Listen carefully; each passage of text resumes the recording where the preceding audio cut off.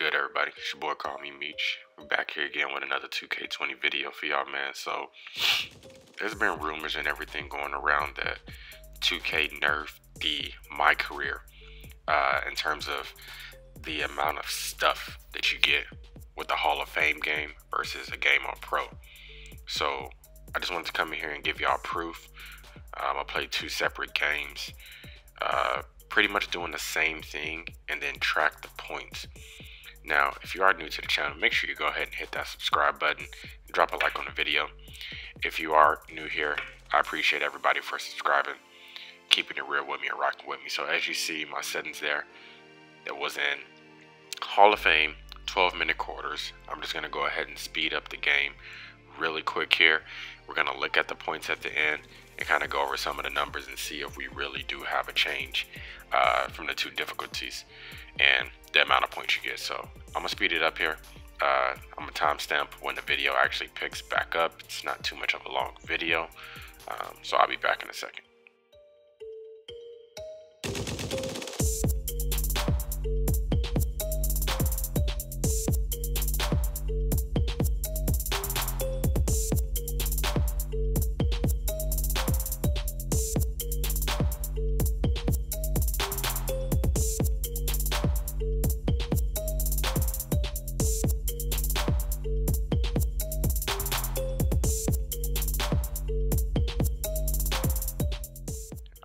So as you can see, I finished the first game. I had 0 points, 3 rebounds, and 17 assists, okay?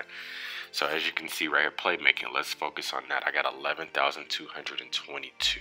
I was doing my playmaking rep method. Uh, if you need help with that, I have a, I'll link the video here. Um, it'll pop up on the screen towards the end of the video, but as you can see, man, I got 4,760 in alley-oop assists, and then what they did do is they nerfed the multiplier. You see the 1.5 for Hall of Fame, that used to be 2. So you are getting less my points for sure on Hall of Fame. But let's keep in mind the playmaking, again, as you can see me changing my difficulty here to pro settings on 12 minutes. I'm to do the same thing, the same exact method, pretty much trying to get the same stats on pro and see what happens. But remember you all, I was doing my playmaking method. So I got 11,222 playmaking badge points for that game. Supposedly with this change, you're pretty much getting the same exact amount of badge points you obviously know you won't get the multiplier. Now, as you can see here, I brought you in a little bit earlier to look at my stats. 0 points, 4 rebounds, 17 assists. Very identical to what I had the last game. I think I had one additional rebound in terms of stats.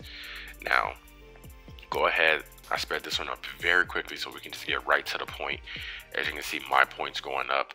Max their playmaking right here, 7,000. 320. So we are still getting more badge points when you put it on a harder difficulty. For all you people that are grinding your badges, it still looks like my career is the way for that.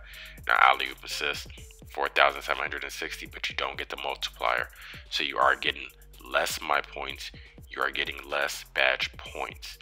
So I just wanted to drop that video for y'all, man. Hopefully somebody found this useful. Again, make sure you like the video and go ahead and hit that subscribe button for me, man. Um, we got more videos to come soon here, but point of this, man, if you still grinding in my career for anything, Hall of Fame is still the way to go, man.